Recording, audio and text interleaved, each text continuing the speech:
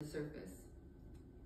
There is an acceptance within my process that I will not have answers, will not reach a final conclusion. There is only the freedom of curiosity, of an unending sense of wonder when I think on time, on life, on death.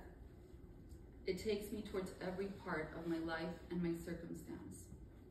This is why I search through the eyes of Einstein, who believed time to be a stubbornly persistent illusion.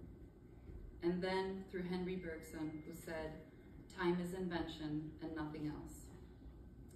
Or through Octavio Paz, who thought of time as ever real and present, as forever arriving.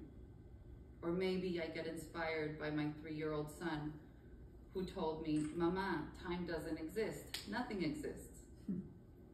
The concept of time might well be the most important discussion